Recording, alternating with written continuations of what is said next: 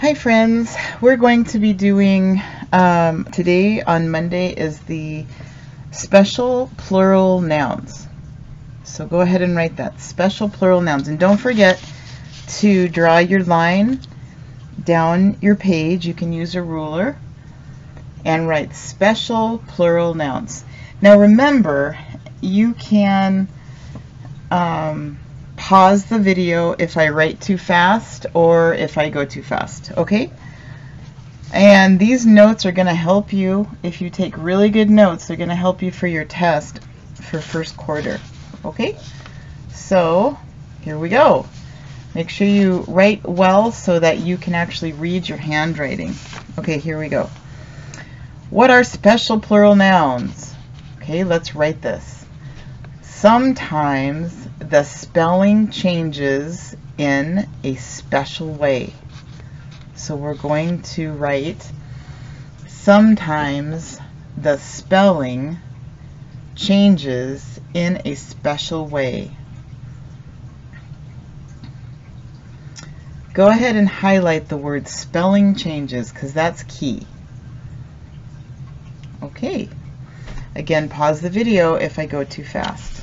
Thank you. All right, so we're going to make a box. We're going to put singular, which means one, and plural means many. So singular means one, and I'm just going to write the word one. That's what singular means. Single is in here, single, and plural means many okay? Singular is one and plural is many. Okay, let's take our first one then.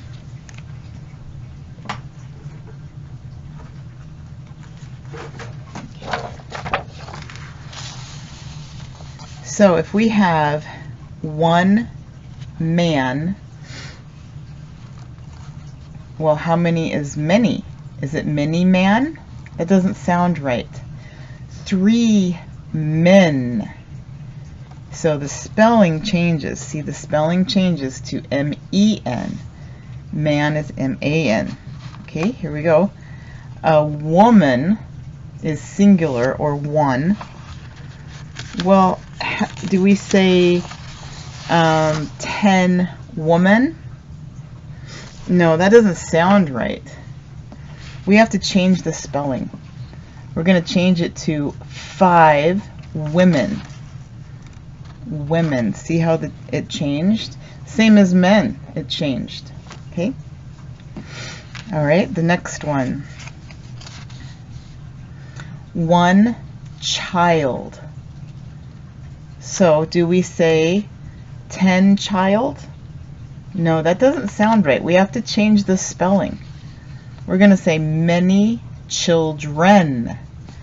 We had to add the R-E-N, means many children. Good job. Okay, let's go to the next one. A mouse is not in my house. a mouse. So how do we say many? Do we say mini mouse? No, that doesn't make any sense. That doesn't sound right. If I said a few mice, yep, that makes sense. And so we change the spelling. Mice and mouse. Okay? The tooth fell out. The tooth. Do we say the tooths? No, we don't. That doesn't sound right. We say several teeth. So then you see how it changed the spelling. Okay, go ahead and pause the video and write these down. Oh, we have one more. One foot. Do we say many foots? No, that doesn't sound right. Two feet. We change the spelling to EE. Okay, go ahead and pause it and go ahead and write these words. All right.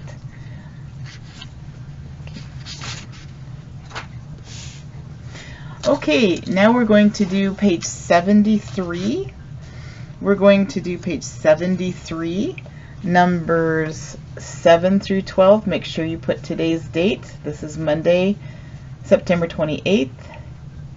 And uh, page 43, make sure you write that, and numbers 7 through 12. Okay, before we do that, though, let's try some of these on our own. Okay, so on page 72, child is children. Most of these we've just done. We wrote these. Okay, let's continue on. Um, let's try the first one of these together. Okay, it says, write each sentence correctly. Use the plural of the noun in the parentheses. Okay, so they're going to give us a word and we're supposed to write the plural. now, you do not have to write the whole sentence.